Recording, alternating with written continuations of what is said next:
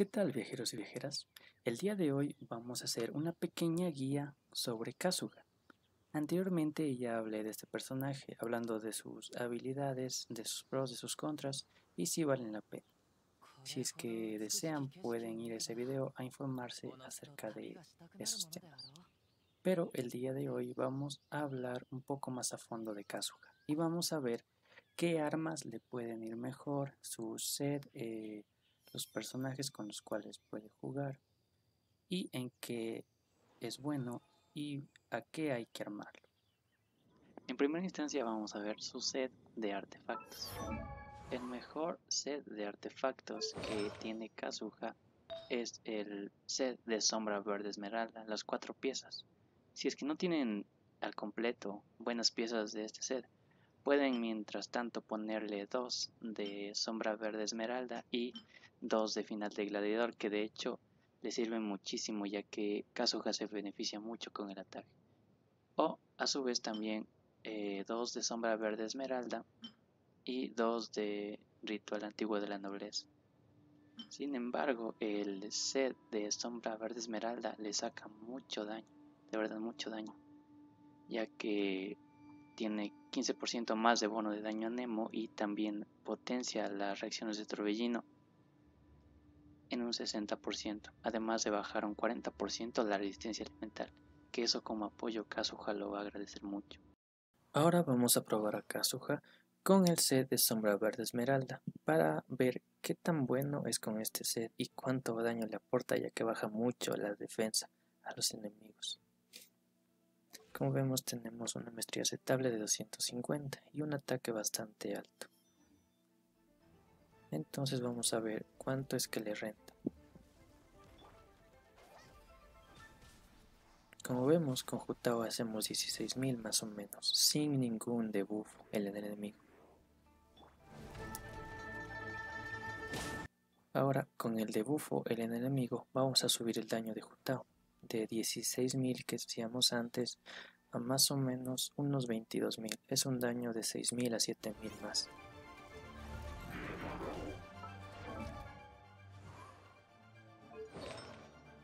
Ahora vamos a llevarle ese rot. De este modo vamos a ver cuánto daño aporta Kazuha simplemente con su pasivo.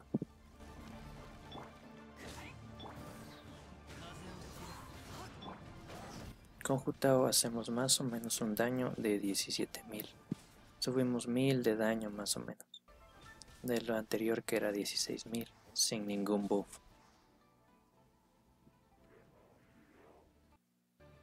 Ahora vamos a probar un Kazuha igual con Rotel Set pero con mucha más maestría.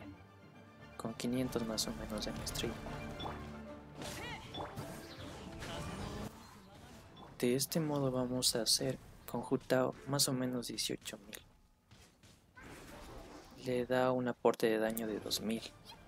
Entonces más o menos por cada 100 de maestría elemental nos va a dar un aumento de daño de unos 500 o más. Con esto podemos concluir que la maestría elemental en Kazuha aporta bastante daño, sin embargo yo no lo llevaría full, full maestría. Tienen que, encontrar un equilibrio entre maestrías, si es que llevan ataque en el arma, pónganle maestría en el reloj, y si no, al revés.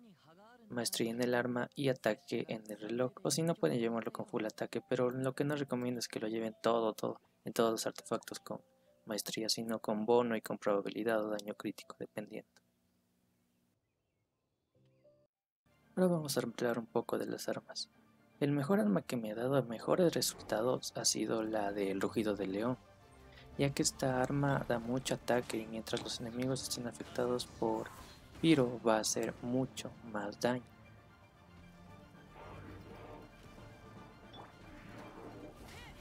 Como vemos, cuando los enemigos están siendo afectados por Piro, hace 12.000 más o menos. 12.000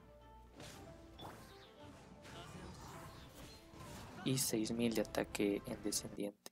Ahora por agua, cuando los enemigos no están afectados por Piro o Electro, también va a ser un buen daño. Como vemos hace un daño de más o menos 6000 al bajar y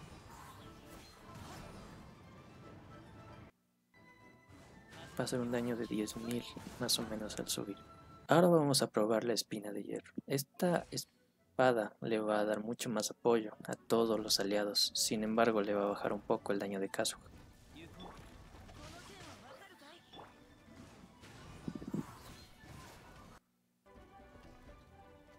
Va a ser 8000 más o menos de los 10.000 o 12.000 que estábamos haciendo. Va a bajar el daño, sin embargo esto le va a potenciar mucho más el equipo. La maestría elemental que tiene esta arma le va a potenciar mucho más al equipo.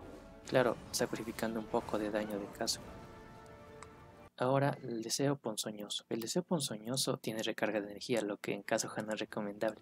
Sin embargo, también puede llegar a hacer un buen daño, ya que su pasiva hace que su elemental haga mucho más daño. Sin embargo, esto no afecta tanto a su ulti. Entonces, como vemos, está haciendo un daño de más o menos 10.000, casi lo mismo que con el rugido de león. De hecho, hace más daño que con la arma de maestría elemental.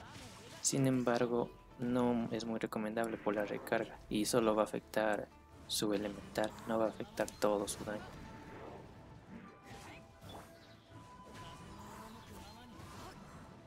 La siguiente es la flauta. Esta arma la verdad me sorprendió porque hace el mismo daño igual que el rugido de león porque tiene las mismas substats. Sin embargo no va a apoyar tanto el equipo ya que la pasiva no le sirve de casi nada siendo su DPS o DPS. Si ven, hace un daño de 10.000 más o menos Kazuha con esta espada, lo mismo que el rugido de león. Sin embargo el torbellino no va a hacer tanto daño no importa por qué estén afectados los enemigos, igual va a ser el mismo daño. La hoja afilada celestial, yo pensé que iba a hacer mucho más daño. Sin embargo, no hace tanto daño. De hecho, hace un poco más de daño que el deseo ponzoñoso, ya que hace más o menos unos 8000 el deseo ponzoñoso y esta arma hace más o menos unos 9000. Está en un daño medio, sin embargo, la recarga de energía que tiene este arma no le favorece acaso. Además su pasiva no le ayuda de mucho, solo le da 4% de probabilidad. Como vemos hace un daño de 9400, que es un daño medio, no le sobrepasa tampoco al rugido de león.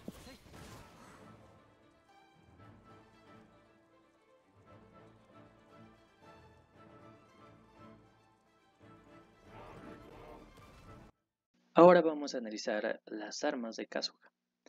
Vamos a ver cuáles son las más recomendadas.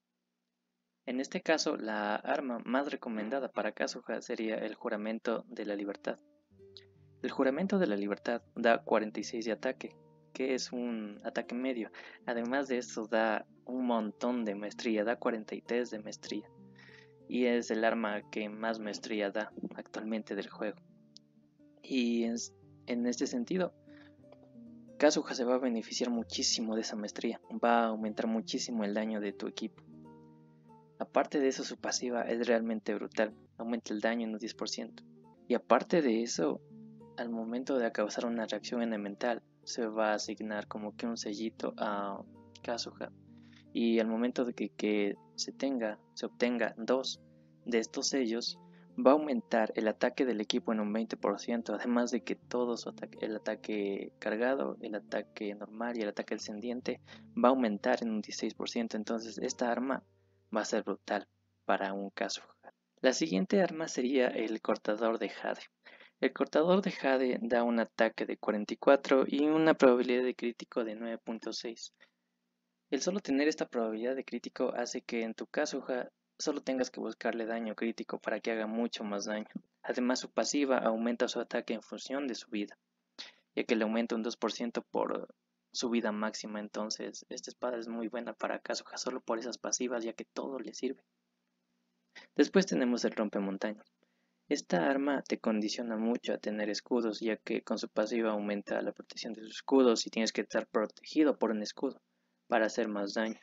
Claro, te da muchísimo ataque, te da 46 de ataque y 10.8% de ataque.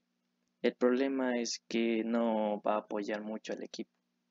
Claro, con Kazuha el ataque se agradece mucho ya que va a hacer mucho más daño mientras más ataque tenga. Sin embargo, no me gusta mucho estar, pero puede servirle a Kazuha tanto por el ataque y por la pasiva que incluso le da más ataque y más daño.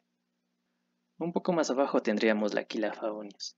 Este arma tiene 48 de ataque y además con su pasiva le da 20 más de ataque. Eso quiere decir que tu Kazuha va a hacer mucho daño. El problema es que su, eh, su stat secundario, que es daño físico, no le va a servir a Kazuha a menos que lo lleves de DPS. El resto de su pasiva tampoco le ayuda tanto ya que es más enfocada a un DPS. Claro, el daño le va a aumentar mucho, el ataque tiene 48 de ataque, que es un ataque bastante alto. Sin embargo, esta arma pienso que no se aleja tanto de otras armas 4 estrellas que vamos a ver. Una de las mejores armas 4 estrellas que yo considero para Kazuha sería el destello en la oscuridad.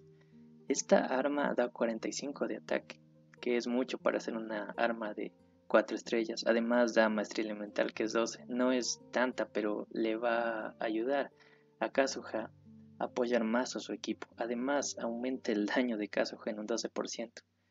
Este daño se quita si es que recibes daño, sin embargo a Kazuha no lo vamos a tener mucho tiempo en el campo de batalla y por lo tanto no, vas, no va a sufrir tanto daño. Entonces esta arma es muy buena para Kazuha, especialmente para apoyar y para hacer daño. Otra de las armas que yo considero que es una de las mejores de cuatro estrellas en Kazuha es el rugido de león, ya que da muchísimo ataque, da 42. El problema de esta arma es que estás muy condicionado a llevar equipos de piro o de electro. Y el piro y el electro no se combinan muy bien. Entonces, esta arma es especialmente buena cuando llevas equipos de piro, ya que aumenta el daño de Kazuha en un 20%. Además, el ataque le hace ganar mucho daño a Kazuha. De hecho, lo probamos y es una de las armas que más daño puede llegar a hacer. Claro, también hace un buen daño cuando no está afectados por estos dos elementos que son Piro y Electro. Entonces, para mí esta es una de las mejores armas que puede tener Kazuha. Claro, esto depende también de tu build, de cómo vayas a armar a tu Kazuha y de qué equipos lleves también. Entonces, para mí es una de las mejores. Sin embargo, puede ser eh, mala si es que no llevas las combinaciones adecuadas o llevas un set que no te da tanto daño. Tenemos también la espina de hierro. La espina de hierro da muchísima maestría elemental y da 42 de ataque, que es un ataque medio. Además, con su pasiva, va a aumentar el daño en 6% y esto se puede acumular hasta dos veces. Entonces, tanto la pasiva como la maestría elemental que le da como el ataque la vuelven una muy buena arma para caso. La maestría elemental va a hacer que apoye muchísimo más a sus aliados, tiene un buen ataque base, además de que va a infligir mucho más daño con su pasiva. De hecho, esta es una de las espadas más equilibradas para llevar a un Kazuha, tanto para que haga daño como para que apoye a sus aliados, ya que le puedes poner esta espada y le puedes poner o oh, maestría elemental en el reloj o ataque y de ese modo te va a hacer muy buen daño Kazuha y va a apoyar muchísimo a sus aliados. Ahora vamos con la espada larga del peñasco. Esta espada yo considero que es una espada que Kazuha va a aprovechar mucho, ya que tiene 44 de ataque y tiene un buen daño crítico. Si tú tienes un Kazuha con una buena probabilidad de crítico, esta espada va a ser muy buena para él, ya que aprovecha muy bien su pasiva. Kazuha, con, simplemente con lanzar su habilidad elemental, va a eliminar un montón de enemigos, como vamos a ver y esto hace que Kazuha aproveche muy bien su pasiva, ya que al eliminar a un enemigo te aumenta el daño, te aumenta el ataque de Kazuha. Entonces al eliminar a tres enemigos va a aumentarte mucho el ataque. Esto va a hacer que Kazuha haga mucho más daño y como vimos, esta pasiva es muy fácil de obtener con Kazuha ya que va a eliminar un montón de enemigos pequeños en un muy corto periodo de tiempo, lo que le va a ser muy útil. La siguiente sería la flauta. La flauta da casi las mismas características que el rugido de león. De hecho, da exactamente lo mismo, da 42 de ataque y 9% de ataque en porcentaje. Entonces, esta arma va a hacer mucho daño con Kazuha. De hecho, me sorprendió cuánto Kazuha puede hacer con esta arma. Va a hacer mucho daño. El problema es que su pasiva no la, no la va a aprovechar casi nunca. Si es que no llevas a un Kazuha DPS, esta arma no la va a aprovechar, ya que tienes que estar pegando, pegando, pegando para que su pasiva haga daño. Sin embargo, las substats que le da y la stat principal que le da el arma tan alta la hace una buena opción para Kazuha. De hecho, me sorprendió, como ya dije, el daño que puede llegar a hacer Kazuha con la flauta. Ahora la hoja afilada celestial. Esta arma da 46 de ataque, que es más o menos. Lo malo es que esta arma no, no, no considero que va a aprovecharla mucho Kazuha, ya que de su bestia tiene recarga de energía. Y Kazuha no necesita demasiada recarga de energía. Con los subestat que tengas en los artefactos, te va a ser suficiente para que Kazuha recargue su ulti. Y su ulti ni siquiera es tan caro, cuesta 60. Además, él genera muchas partículas elementales, entonces va a tener su ulti muy rápido. Entonces, es, esa es la razón por la que las armas de recarga de energía no le convienen mucho a Kazuha. Tienen que tener otro subestat como maestría elemental o ataque. En este caso, la recarga de energía no le va a beneficiar. Además, aunque su pasiva de 4 de probabilidad de crítico, que no es mucho, lo demás de su pasiva no le va a beneficiar mucho. Por eso es que la pongo en este lugar. De hecho, pensé que con esta arma iba a hacer más daño, pero no probamos que no, no va a hacer más daño ni tampoco va a apoyar tanto al equipo. La espada negra. La espada negra tiene 42 de ataque y una probabilidad de crítico de 6. Esta espada es especialmente buena cuando tu Kazuha tiene mucho daño crítico. El problema de esta espada es que si es que llevas a Kazuha de support, la pasiva no te va a servir casi nunca, ya que aumenta el daño de sus ataques normales y le cura en base a lo que pegue Kazuha, entonces no va a ser muy óptimo llevarle esta espada, especialmente por esta pasiva. Sin embargo, la probabilidad crítica que le da, si es que tienes un Kazuha con mucho daño crítico y quieres aprovechar ese daño y no tienes probabilidad de crítico, entonces ponle esta arma. Esta arma es muy buena y puedes subir muchísimas posiciones dependiendo de qué composición de artefactos tengas. Después tenemos las espadas que no son tan recomendadas para Kazuha, ya que la espada del descenso le da mucho ataque, le da mucho daño, sin embargo no apoya al equipo y es más para DPS ya que tienes que estar pegando. La espada real, de hecho, esta no me gusta nada porque es muy al azar puede hacerte llegar a hacer mucho daño, pero otras veces no, no, no va a servir mucho. Esta espada especialmente no me gusta. La espada de Favonius igual tiene muchísima recarga de energía. Esta espada es mucha recarga de energía y como vimos, Kazuha no se beneficia tanto de la recarga de energía, sino que de otros substats. El prototipo Rencor, que es más para DPS ya que tiene bono de daño físico, y la espada del sacrificio. Esta espada, eh, esta sí no, yo no usaría esta espada con Kazuha, ya que si vemos el cooldown de la habilidad elemental de Kazuha es de 9 segundos y esta espada te va a refrescar ese cooldown. Sin embargo, para que pase esto tiene que pasar 30 segundos. Eso quiere decir que Kazuha va a lanzar su habilidad elemental, van a pasar 9 segundos, vas a otra vez lanzar su habilidad elemental, y si es que no han pasado esos 30 segundos, esa probabilidad de que se te regenere esa habilidad elemental de Kazuha no va a suceder.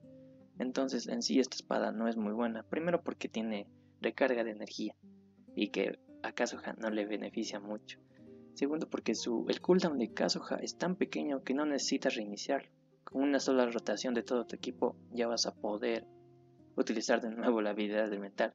Y de hecho con esta espada pierde, pierde daño Kazuha. Y no apoya tanto al equipo. Entonces por eso es que no, no es muy buena esta espada.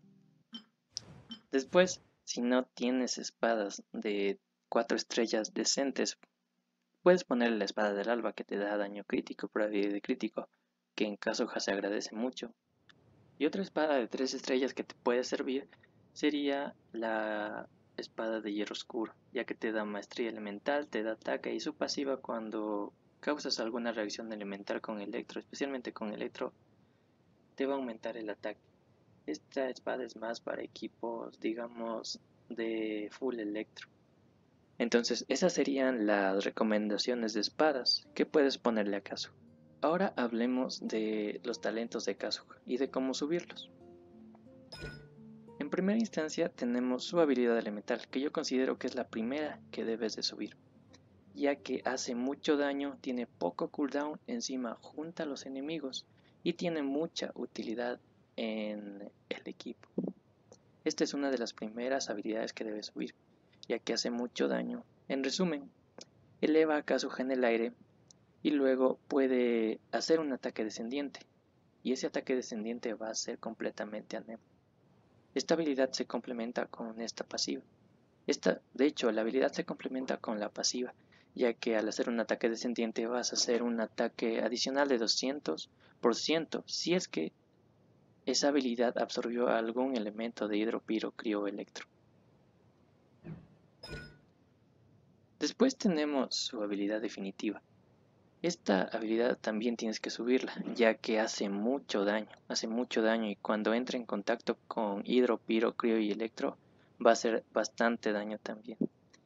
Esta es la segunda habilidad que tienes sí o sí que subir porque el daño que te ofrece este Ultimate es bastante alto. De hecho, estas dos se complementan muy bien con una de las habilidades que mejor se le da a Kazuha. Kazuha tiene una muy buena pasiva, ya que dependiendo de la maestría elemental que tenga Kazuha, le vas a dar a tus compañeros un 0.4% del bono de daño elemental si es que Kazuha hizo alguna reacción de torbellino. este aumento de daño eh, se nota en tus DPS, en tus sub-DPS.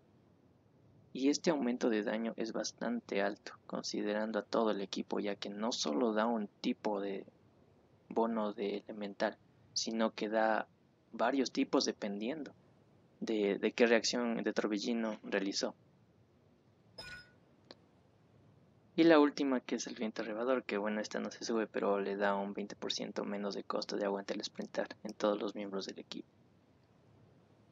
Ahora, una cosa muy interesante es que se debe de subir también su talento de combate. Con Kazuha no vamos a hacer ataques normales ni ataques cargados. Con Kazuha de sub DPS o de support simplemente lo sacamos. Hacemos algo de daño y dejamos a nuestros DPS hacer todo el daño. Sin embargo, su habilidad elemental al impulsarnos en el aire nos posibilita hacer un ataque descendiente. Y este ataque descendiente también depende de nuestro talento de combate, de nuestros ataques básicos. Ya que al subirle esto va a hacer mucho más daño con su ataque descendiente. Al principio yo no pensé que era así, pero después me di cuenta de que sí, de verdad, renta subirle el ataque, el daño del talento de combate. Renta subirle el talento de combate y vamos a ver una prueba más o menos de cómo, ya que yo tenía caso al nivel 1 y lo probé con estabilidad al nivel 4 y aumentó el daño.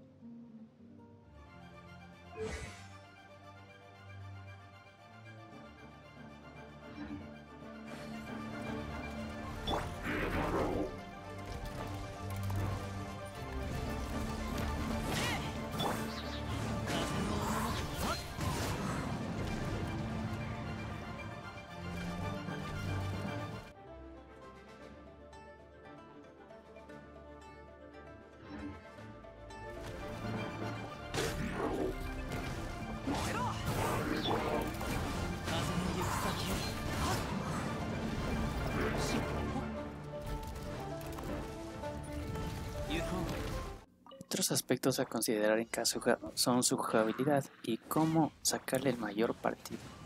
Como vemos, Kazuha tiene una elemental bastante poderosa. Al lanzarla, elimina a prácticamente todos, todo a su alrededor, todos los bichos pequeños. Por eso es que dije que una buena arma para él sería la arma de la tienda, ya que esta le da acumulaciones. Y mientras más enemigos mate, más daño va a hacer. Por eso es que esa arma sería bastante buena para Kazuha. Otra cosa es que el rango de Kazuha es bastante alto. Ya dije que Kazuha no es un 20. Cumplen funciones diferentes, pero Kazuha agrupa a los enemigos bastante bien. Venti agrupa a los enemigos, sí, y los agrupa por un gran periodo de tiempo. Sin embargo, Kazuha los agrupa por un pequeño periodo de tiempo. Pero ese pequeño periodo de tiempo es suficiente, ya que con Kazuha vamos a entrar y vamos a reunir a todos los enemigos con la habilidad elemental. Y después al descender vamos a matarlos directamente. Ya no necesitamos que alguien más venga y mate a sus enemigos, a los enemigos que tenemos juntos. Sino que directamente Kazuha va a destruir a todos esos enemigos pequeños, simplemente con su habilidad elemental. El rango de Kazuha es absurdo, de verdad. Hay enemigos que están muy muy lejos, enemigos que más o menos están a unos 5 o 6 metros y aún así Kazuha logra atraer a esos enemigos y destruirlos en el suelo cuando descienden. Otra cosa también es que la ulti de Kazuha hace bastante daño. Por eso es que en conjunto con su rango y su ataque, su daño, es un muy buen sub y combinaría perfecto en cualquier equipo. Aquí tenemos más o menos que meter primero las habilidades de todos y luego sin meter nuestro elemental. Como dije, el elemental de Kazuha hace un buen daño además de atraer mucho a los enemigos. Ese enemigo estaba casi a 3 metros de mí y aún así la pude atraer y la pude destruir. De este modo Kazuha puede ir en muy, muchas combinaciones de equipo de hecho. Claro, dependiendo del arma con que la lleves. Yo en este caso lo llevaba con el rugido de león. De este modo va a hacer mucho más daño a los enemigos afectados por Piro. Y con este equipo de Jutao y Bennett va a hacer mucho más daño caso. Ahora hablemos un poco de su ulti. Su ulti es extremadamente poderoso. De hecho hace un buen daño y es capaz de destruir igual a los enemigos simplemente con el primer tajo de su, de su definitivo. Como vimos, aquí indirectamente los enemigos literalmente son destruidos por la ulti de Kazuha.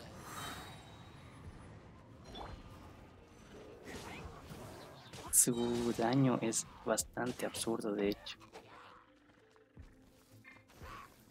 De hecho, si es que, por ejemplo, tienes a un 20 que ya te junta a los enemigos de verdad sí te vale la pena ir por Kazuha, porque Kazuha, si es que tienes un Venti, hay algunas combinaciones que junto con Venti hacen bastante daño, o simplemente puedes llevarlo en un segundo equipo si es que no tienes alguien que te junte también a los enemigos. Kazuha va a hacer un buen trabajo en este sentido.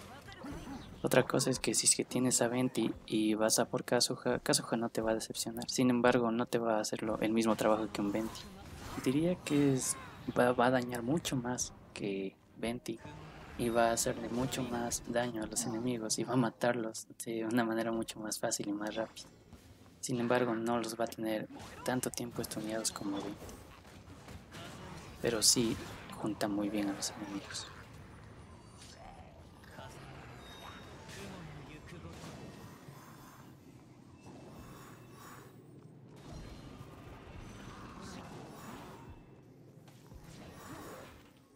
La forma más elegante de jugarla es básicamente lanzando su habilidad elemental y luego lanzando su ulti. De este modo, al lanzar su habilidad elemental vas a recuperar algunas partículas elementales y luego cuando lances tu ulti podrás tener la habilidad elemental cargada. Ahora, ese es otro. Kazuha carga muy rápido su ulti. De hecho, Simplemente con lanzar su habilidad elemental y un par de rotaciones, Kazuha ya tendría su ulti. Su ulti es muy necesario. Y por eso es que no es buena idea llevarla, llevar a Kazuha con mucha recarga de energía, ya que por sí solo va a ser una batería para sí mismo y para todo el equipo si es que lo llevas con otro Nemo o con cualquier composición de equipo. Kazuha funciona mejor en rotaciones rápidas, eso quiere decir que tú vas a lanzar las habilidades de tus supports y luego vas a lanzar la elemental de Kazuha y su definitiva. De este modo les va a hacer daño indirectamente. Y después de eso vas a cambiar a tu DPS. En este caso yo tengo a. Su elemental dura como 8 segundos. En ese tiempo Kazuha va a regresar y va a tener su elemental disponible. Y si se dieron cuenta ya llenó de nuevo su definitiva. La recarga de energía de Kazuha es más que suficiente, por eso es que no hay, es buena idea ponerle una arma de recarga. Como vemos ya está acabando con todos los enemigos. De hecho, Kazuha puede juntarlos hasta una cierta distancia. Por ejemplo, en este caso, Kazuha junta al primer enemigo, sin embargo al segundo no lo toca. Digamos que esa es más o menos la distancia a la cual Kazuha ya no puede absorber los enemigos y también es perfecto para estas flores tan molestas. Las puedes interrumpir y ya no te hacen nada. Entonces esos serían algunos puntos a considerar de parte de Kazuha.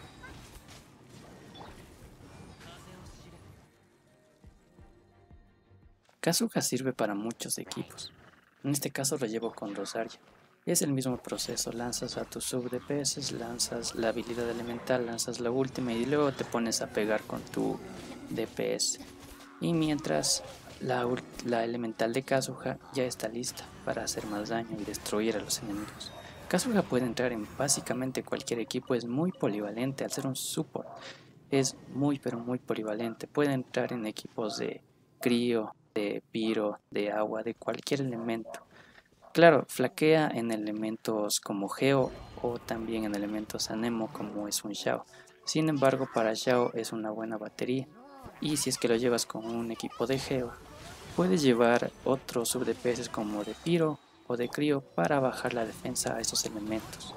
Y de este modo también te puede servir con esos equipos. Sin embargo, no es la mejor opción, pero sirve y es bastante bueno también haciendo eso.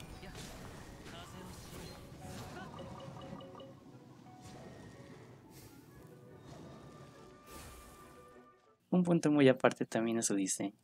El diseño de Kazuha es realmente bueno. En este personaje se esforjaron mucho.